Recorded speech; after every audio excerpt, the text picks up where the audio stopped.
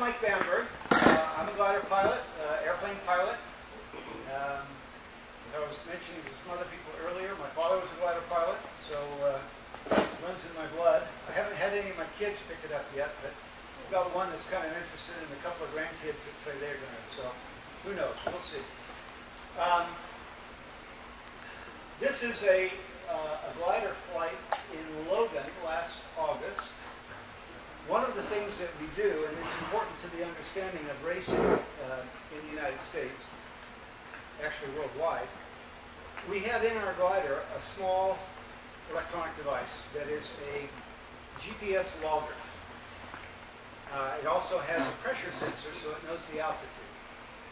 So we can set it up so it logs a point every four seconds, or every one second. There's actually enough memory. So in this particular case, now you see those circles? Those circles are climbing in a thermal. We'll talk about that in a moment. That's one of the sources of lift. The other source of lift was when I was cruising on the ridge. Wind going over the ridge has to go up. Now this glider that I'm flying, in normal flight, loses about 200 feet a minute.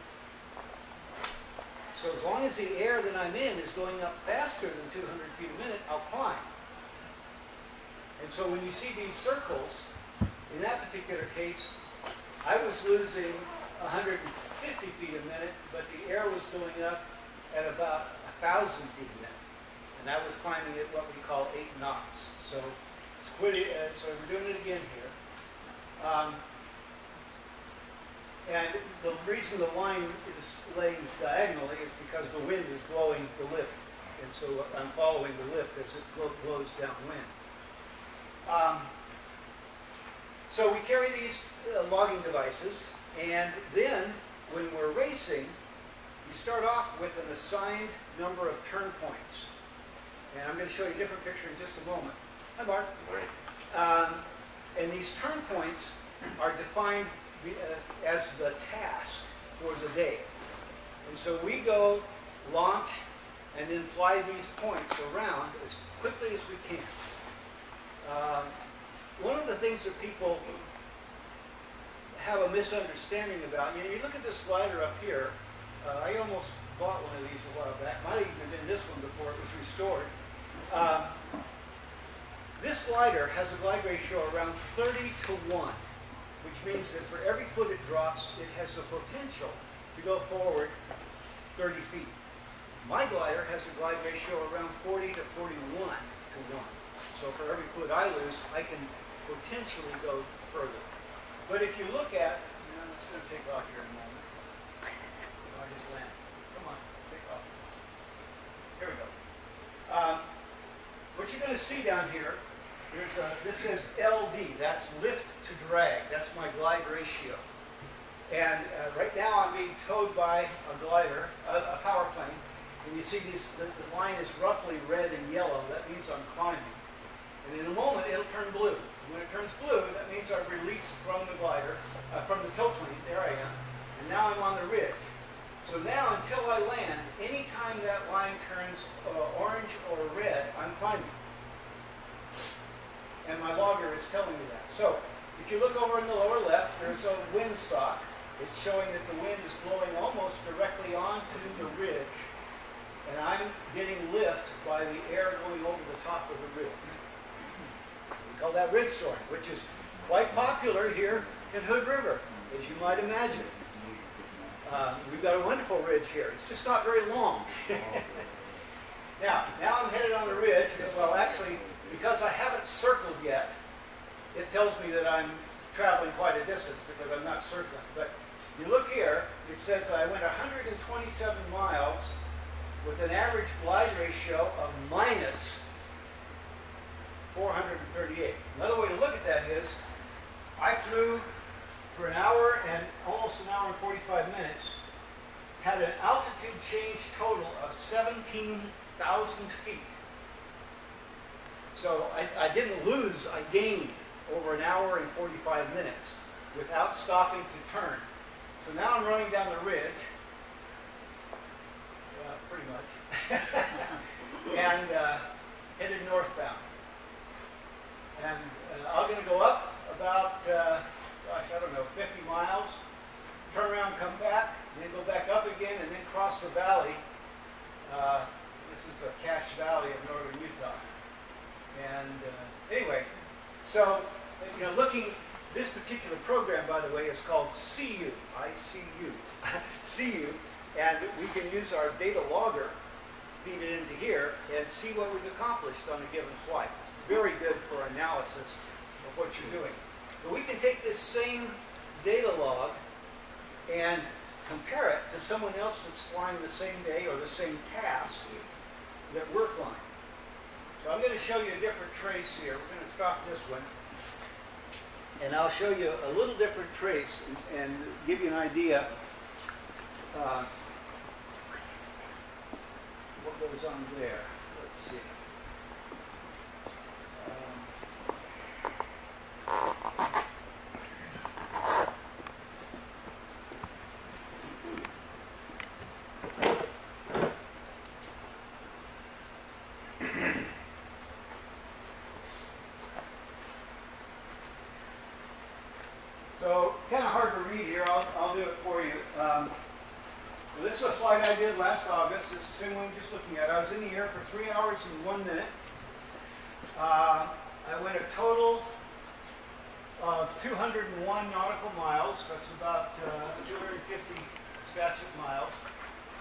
an average speed of 84 miles an hour, with an average glide ratio of 146.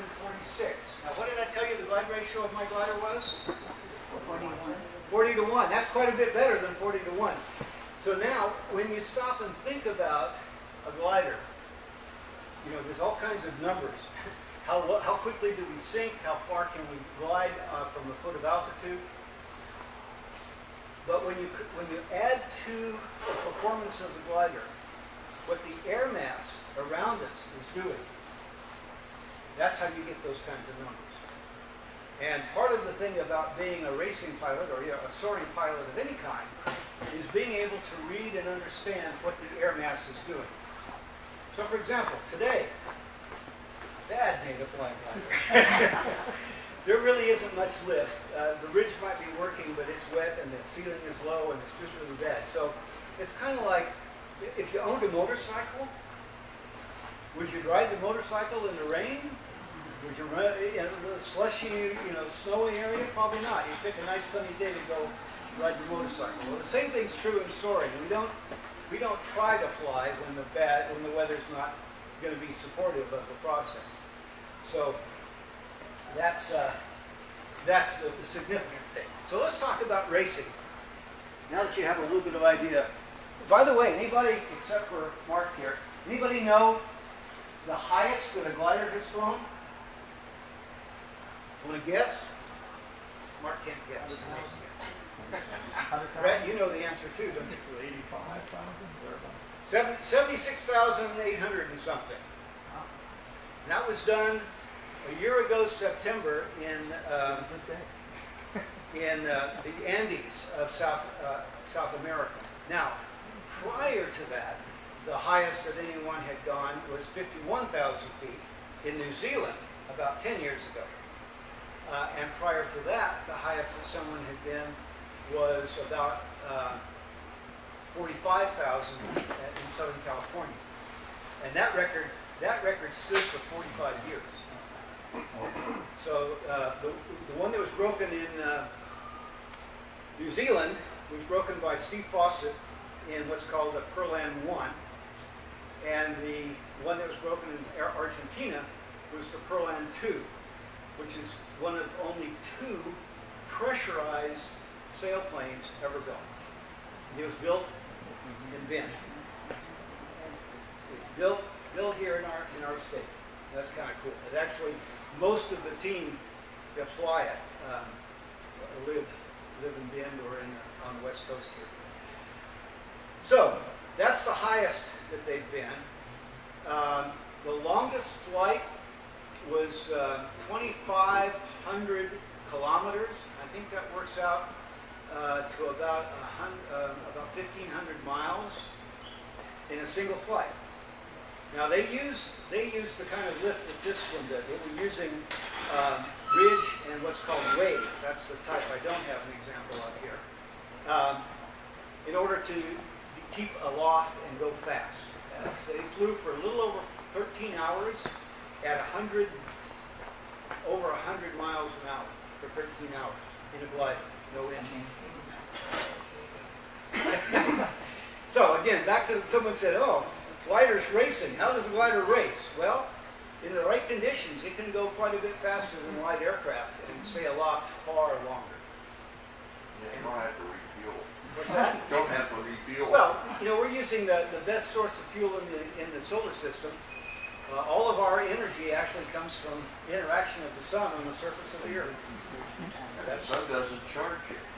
And the charge, it doesn't charge us, and, um, and, you know, at this point, and probably for our lifetime, it's gonna stay there. We talked about thermals, which you've seen soaring birds go round and around and around and around. They're just climbing in a thermal. And then we have the ridge, which I, I showed you a picture of.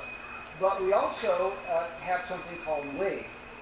And wave is um, very prominent here in uh, Hood River. In fact, uh, some of the best soaring wave in the state of Oregon is here in this valley. So if you think about it, here's a mountain. I know it doesn't look like a mountain, but that's what it is, a side view of a mountain. Now, if that was a rock in the middle of a stream, the water's flowing over the rock, and what happens on the downstream side? You get a ripple, right? And you know, every time you see a rock in the water, you get a ripple. It doesn't go flat after it goes over the rock. Well, one of the things that we need to be aware of is that the atmosphere around us is a fluid. And anything we see in water, we can have that same phenomenon, although we don't necessarily see it, in the air. So, we've got this wonderful place here, place right here, Mount Hood, that's Mount Hood in this particular picture. And the air comes over this ridge, this mountain, and it ripples on the back side of it. And so you get in that up air and you go up. Now, thinking of a ripple, there's an upside and a Downside. downside. so you want to avoid the downside and stay in the upside. So it's kind of like surfing. You know, in surfing, the wave is moving and the surfer rides the upgoing edge of the wave. In our case, the wave is stationary and we ride the upgoing side of the wave. And we can do that for hours and hours on end. Duration is no longer accepted for world records. Because when they decided to discontinue world records for duration in a glider, it was two and a half days. And a single person in a confined glider for two and a half days, beyond that, and, and flying for that length of time, day and night, becomes a uh, physical hazard. so they no longer accept those kinds of records, and people don't attempt them anymore. Um, all right, this is uh, a flight that was flown from um, North Plains.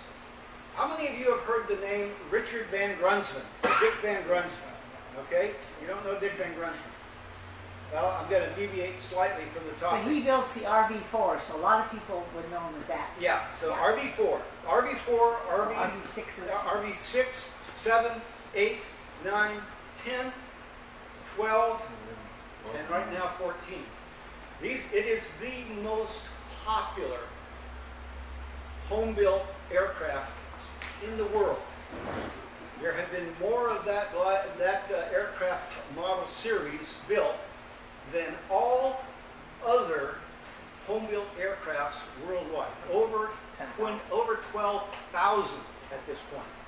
Built by this fine gentleman, very modest man, unassuming, doesn't like attention, Dick Van Grunsven. He's also a glider pilot. And a very, very good glider pilot. This was his best flight this last year. I want you to look at the scale here for just a moment.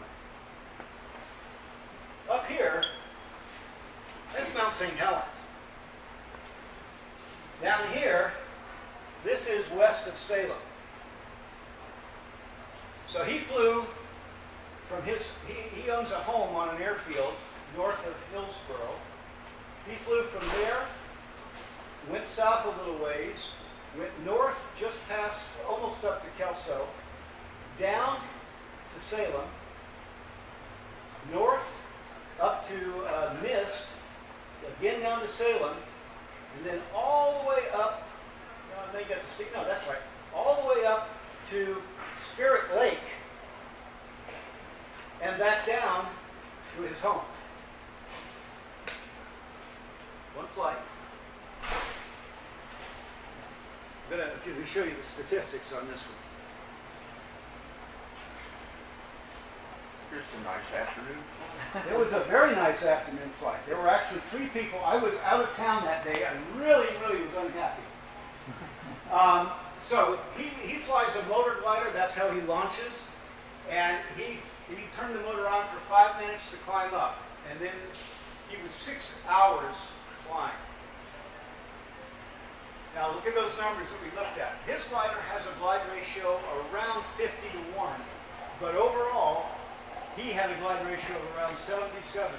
He climbed a total of uh, 33,000 feet total time, uh, uh, 32 total time. He only stopped to third circle 23 times in six hours. His average speed was 96 miles an hour for six hours. It's almost 600 miles. Now, why am I giving you all this other detail? Because I think you can see that in the right conditions, racing is a very natural outcome. racing, I mean, people want to compete, right? Now, this image that I have here was actually, there is a website that we all like to do. And so the first part of racing I'm going to talk about here is something called OLC, and that stands for Online uh, Online Contest. Oh, by the way, that's my instrument panel. Uh, so over here is, this is my altimeter, and that's my airspeed indicator. And over here is something called a variometer, or a vertical speed indicator, except this one is really an air data computer. It, it gives me airspeed, true airspeed, outside air temperature, rate of climb, rate of climb of the air mass. It gives me a, a tremendous amount of information in a little instrument that's only two and a quarter inches in diameter. I have a GPS behind. Uh, the GPS feeds that instrument and then feeds this instrument, and this is my moving map display. Now, if you look up there, you can see some circles. You see those circles up there? And a triangle going from circle to circle? That's the task I was flying that day. And that's the way we do across country, is we, uh, we, we all decide beforehand we're going to fly from here to here to here and back again, see who does it fastest. So in that particular day, the big circle is, is North Plains. Uh, the little circle is one called the Black Radar Ball. Over on the uh, left-hand side is a place called Norman Pond, and then come back. And the idea is to go around that as quickly as you can. On this particular year, I think the fastest one was about, so that, that works out to be about 62 or 63 miles. Fastest one was 45 minutes. That's pretty good speed. Um, it wasn't me. now, uh, this is my control stick here. You see a whole bunch of buttons and switches on it. The one lower one says PTT. That's push to talk. That's so I can talk on my radio with people. The rest of them allow me to control that screen. Make it bigger, make it smaller, change points, get all kinds of information. So when I'm flying my glider, which people tend to think is being very simple and unsophisticated, I have better electronics than most airliners. Down here is my transponder. This is my radio. And this box that's got the glare on it right now is a backup for everything in the cockpit. A little box that big. Airspeed, uh, ground speed, doesn't give me airspeed. Altitude, rate of climb, moving map, all of the pieces of information that I want to have costs seven hundred dollars. I mean, it's, uh, it's pretty amazing what I have at my disposal in order to do what I'm trying to do in terms of going fast. Uh, a lot of the information that I need to make very quick and valid decisions are coming off of these two boxes, or three boxes in this case. Um, in addition, I have, like I said, I have a transponder, but I also have a flight aware system. It's a traffic awareness system. If you look in the screen, up on the top, you see that black radar. It shows me where all the other traffic is. So it's, it's a very comprehensive set of information to make it so that when I'm flying, I can make very good decisions uh, with what I've done.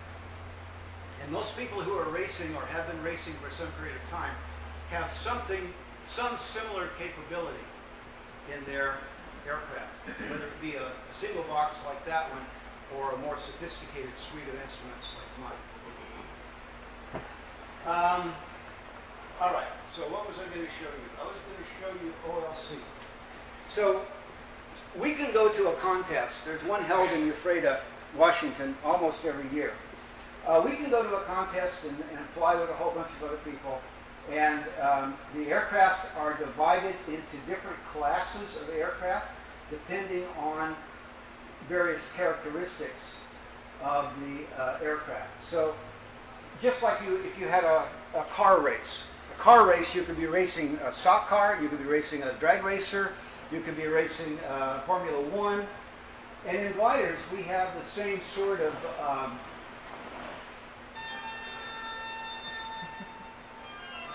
not today, I'm not.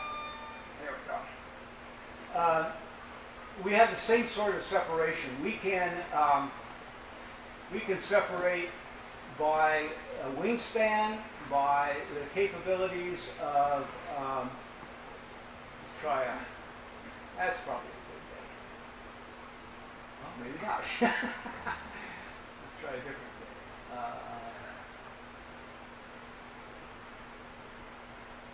let's try the day go. Um, Monday.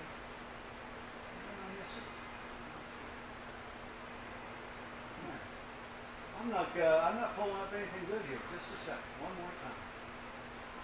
August.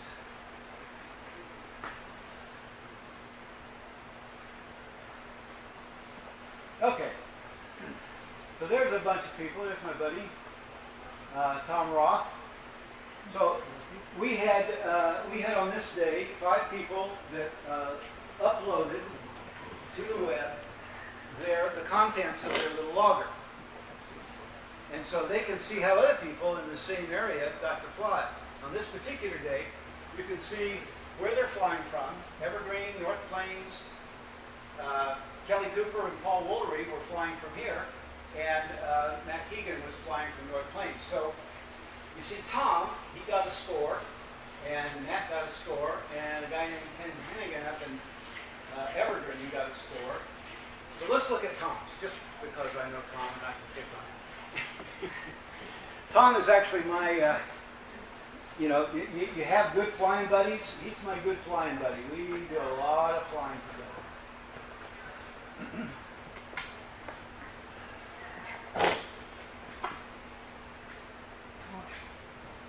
Okay, so he flew for uh, two hours and 21 minutes. That number is uh, in the pink area there at the bottom.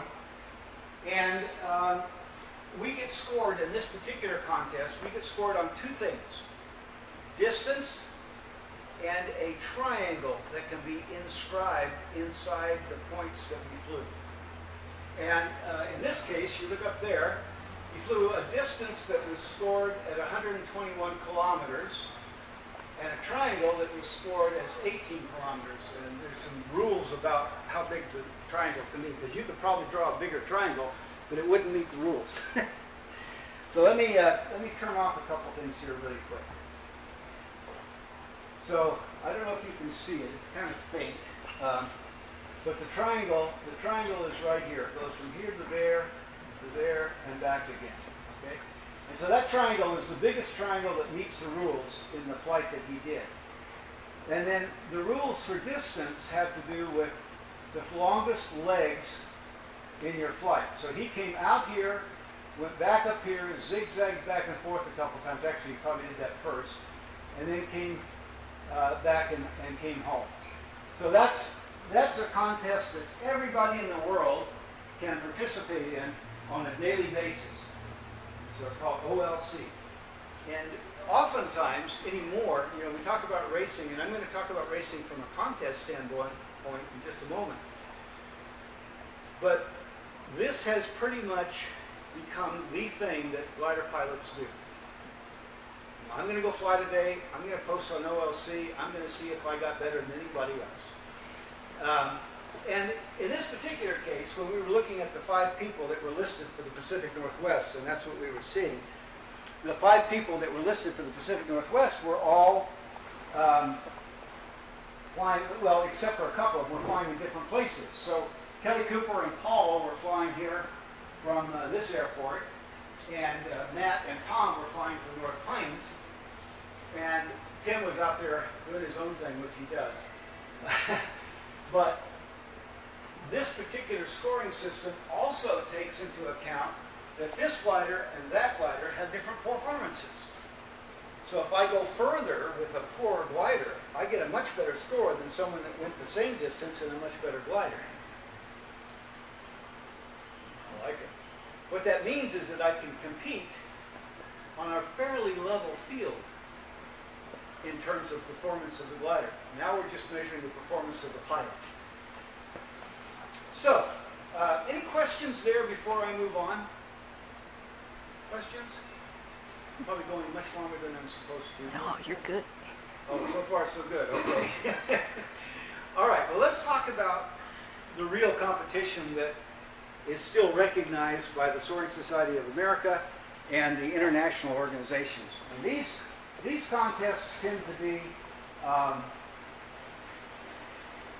quite large. In fact, right now, in Lake Keepit, the name of the place, uh, Australia, uh,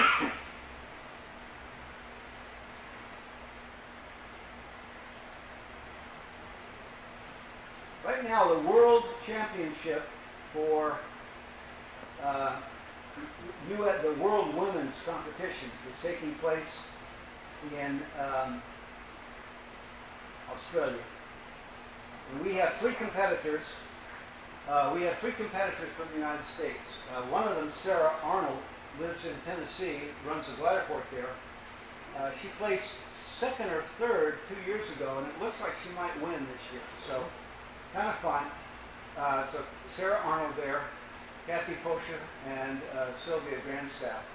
Uh, John Good, a friend of mine, is the team captain. And so they're there right now. Let's see what the results are. Wonder if they're racing with all the fires that are going on down there. They, they had a bit of a problem with that for a while, but, uh, come on. There we go. Let's try that. I think you can get the scores there somewhere. Um, Go to Soaring Spot. Which one? Soaring Spot. Oh, Soaring Spot. That's got a great way to look at all the results in. It's like, Spell that right? No. NG in there. I think this website's developed by the Steve guys. Yeah. Soaring Spot. Soaring Spot. Dot org or, I think it's from, um,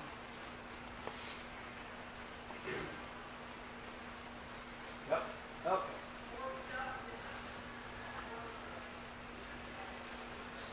and then you can, if you click up on their uh, tracks and task and results, Yeah. then you Yep, can yep. see. I've been there before. Okay. So these are the current, uh, after several days, these are the current standings. Uh, Sarah's not up there. Oh, that's the daily winner. Uh, So Sarah's flying in uh, standard class. Remember I talked about different classes. So she's still in first place by 200 200 points more or less. That's that's cool. Yay USA. and uh, and uh, uh, the the other two ladies are uh, not doing quite as well. Uh, they had a pretty tough. They got smoked out a couple times, so uh, they're down. Sylvia's down at 16 and Kathy's down at 13. Um, which in the U.S. Uh, we don't always do very well, and unfortunately, in the uh, competitions. Um, where is the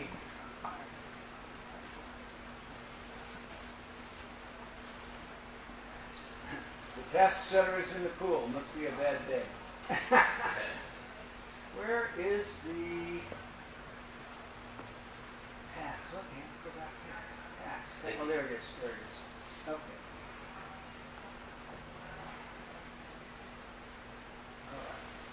So what you can see here is uh, the list of turn points that are going to be used for uh, the 10th, which was actually almost two days ago, our time.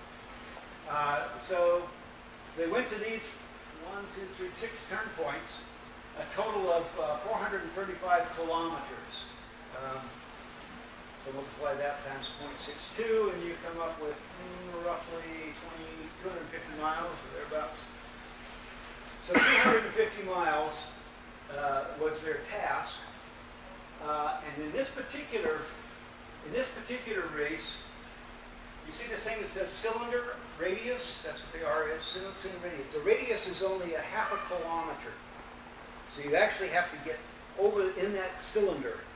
It's only a half a kilometer. That's 500 meters in radius. That's pretty pretty tiny little spot that you have to go to. And uh, and they all have to go around that. So let's see. I don't think I can get a track here. Maybe I can. Oh, all right. That's what it looks like. So they're flying. Uh, they're flying out of the airport where the red dot is, and then they launch. They launch out to the northwest, and that's the start line. So we've got to cross that start line, go around this point, around that point, that point, that point, and come back home again. Uh, those of you that are pilots understand that there are certain airspaces where we can't fly. And if you look over here, this kind of keyhole-shaped area is a uh, do not fly zone. You cannot go in there. You'll be immediately disqualified when you get back and you turn in your trace. So you got to stay in the, you know, you get mighty close to it right down here. Maybe the best lift is right there, but you can't go there.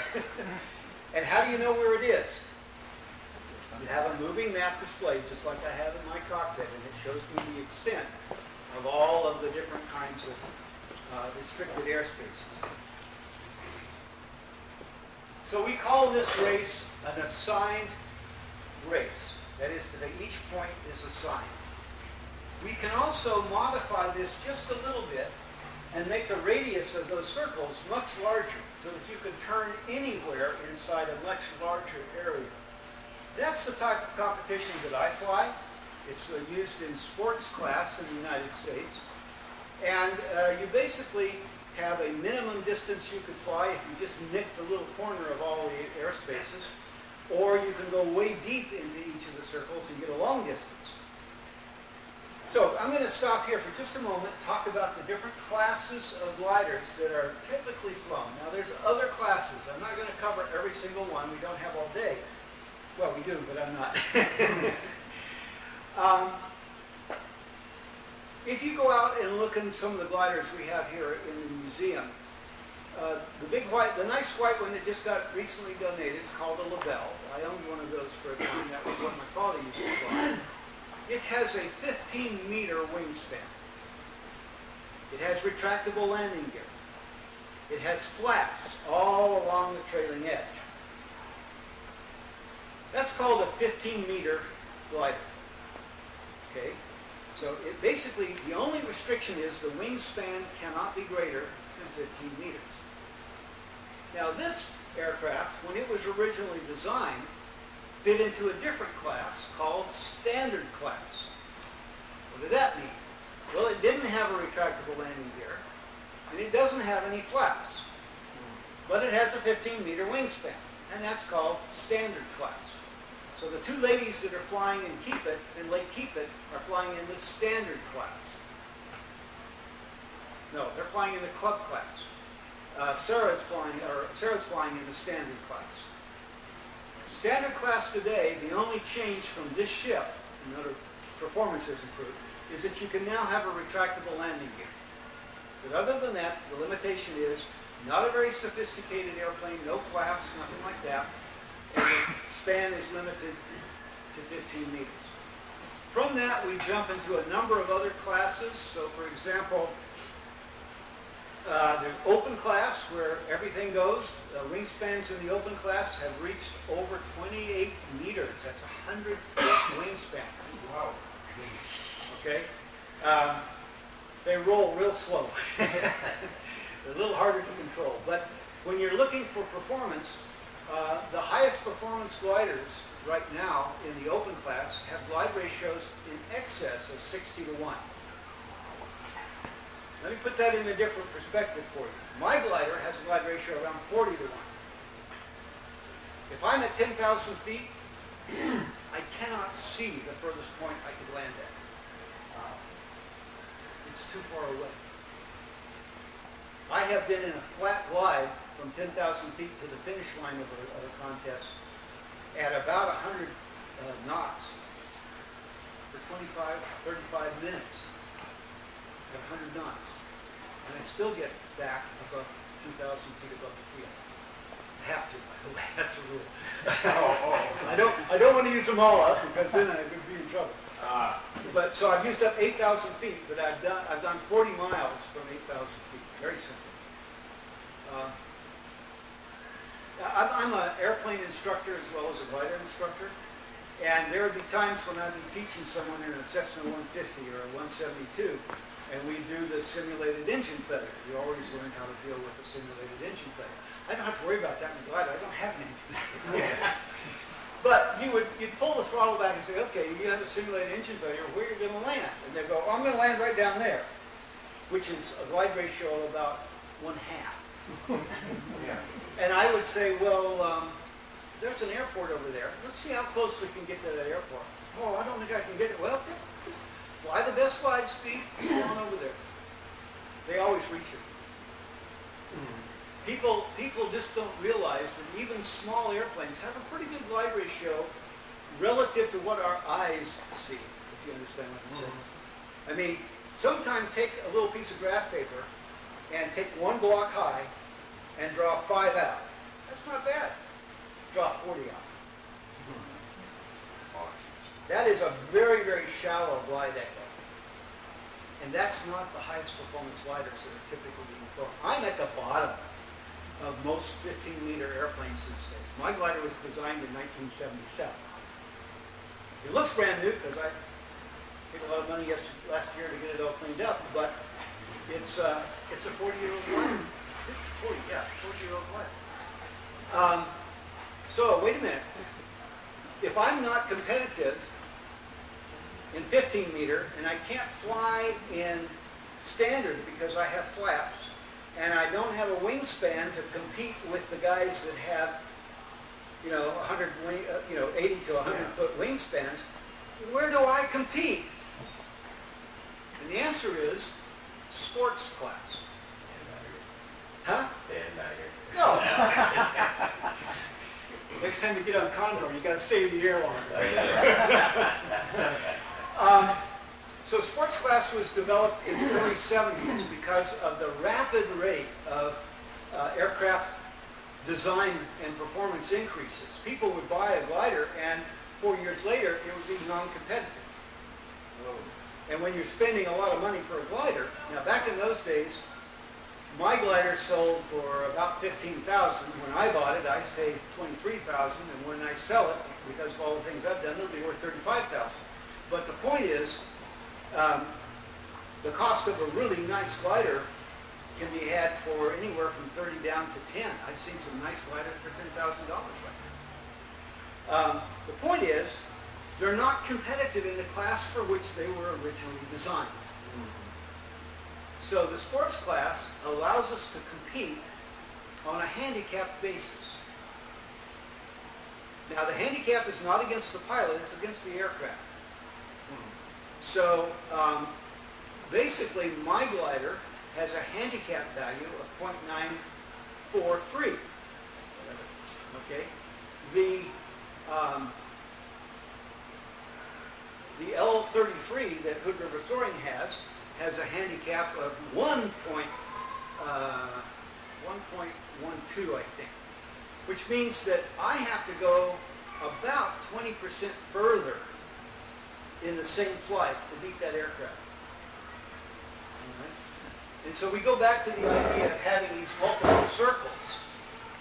The multiple circles allow me to go in deeper and still complete the race. And the L33 doesn't have to go as far, but could still win the race. Okay, so the handicap, what's that? Still based on the same time, you just have longer distance. Exactly. Yeah, it's, and it's, all of these races, for the most part, are speed races. Yeah. They're not distance races. We don't do distance anymore. We only do speed. We just have several ways to determine what kind of speed we're doing. And again, if I wanted to compete in the 15 meter class, my bird fit, my glider fits into that design class, um, my 40 to 1 would be competing against between 45 and 48 to 1. So that's quite a handicap against those other things. So, now we're to the final topic of the, of this thing here, racing, right? Going as fast as we can. Going high doesn't matter anymore, going far doesn't matter anymore, going long, time, duration doesn't matter anymore. What we do is speed. And in competition, you just pick the class that you want to pay for. Um, You know, a 15-meter aircraft that would be competitive would cost about eighty to $90,000. So I'm willing to fly in a lesser class. uh, in order to have an aircraft I can afford and enjoy. And uh, and that's what I do. So, any questions I can answer here that I haven't already answered? You know, when I, when I'm teaching my students, I say, if you don't have questions, I do. No questions? You sure? Well, thank you for letting me come, and I guess we're done.